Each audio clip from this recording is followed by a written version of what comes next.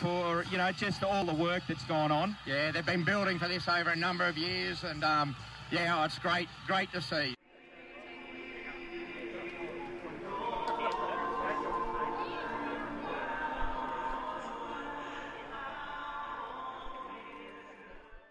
And also uh, and also the number three Chrissy Jones is uh, uh, Troy Rose is in the uh, the tackle. There's tackle two concerned about him. It was just the way they popped their heads up straight away and looked over to the sideline.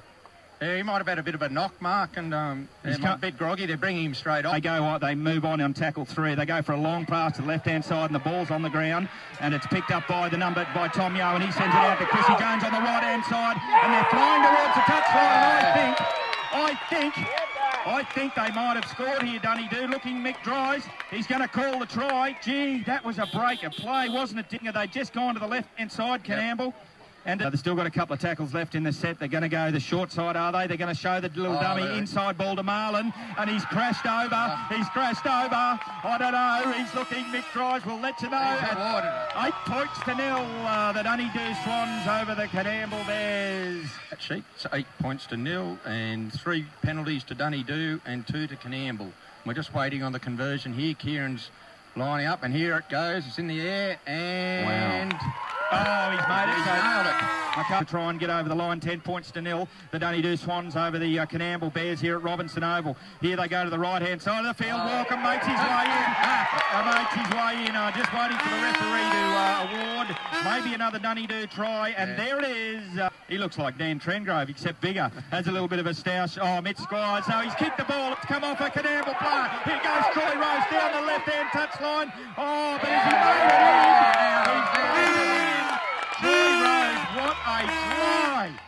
So Mitch Squires, nothing happening. He's kicked the ball with a little try, chip over the top type thing. It's come off the Coonamble uh, player, so uh, it's. We can just give you, while we're a bit of a lull in the thing, um, there's been tries to Troy Rose, Ryan Marlin, Chrissy Jones, Chris Walkom. You know, there's been a few balls going to ground and that, and um, yeah. But So here they go through the Morrissey's through the middle of the pack, but oh, just stopped short there by Stanford. Sorry, Dinger, didn't mean to cut you No, off. you're right, mate. I thought he was in. Pickering's got the ball. They go to the left-hand side of the field through Smith, they're and he crashes over. He crashes over for the try. So uh, just waiting for, yep, there it is. So 24 points to four. Coonamble back in the game. So here for the 2014 Castlereagh League. Uh, the group with that.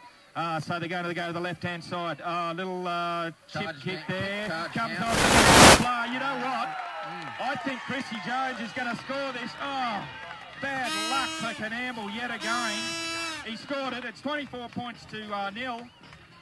So that's just another kick from uh, Mitchell Squires, I think it was. Yeah, He's charged down back to Dunedoo and Back to, uh, Chrissy Jones, I think. Back Yeah. to Chrissy Jones, and that's just a gift. Four points to line. So this is the last tackle. So there goes Pickering, and he sends it belting downside, downstairs, and uh, and Tyson Searle's got it, the number two for Dunedoo, and he's got it on the 20 metre line. He's mupped over the 20 metre line, and he bashes his way back to the 30 metre line. What, 10 metres out? Not even that. Seven metres out, right in front of the post. They're going to try their big buffeting runs there. The number 12 from Coonamble is going to be held up. It's playing for a try. This is going to be very close to see. He's called it. Try to Coonamble, uh, 10, 24 points to 10. About 12 minutes to go in the Castlereagh League Group 14 uh, Grand Final. So that was uh, that was a great. Was Uh, that the fullback? no, I think it was. Uh, I'm going to call it out. He, back on was Justin Eck here today. You're being up and down that field. So here goes Troy Rose. He's got the ball and he's showing and going and he's beaten two, three. He's down over the 20 metre line. I don't think they're going to stop him this time. Big Troy Rose goes in for second. That'll be all she wrote, I'd say. Yep, so Big Drives calls the try.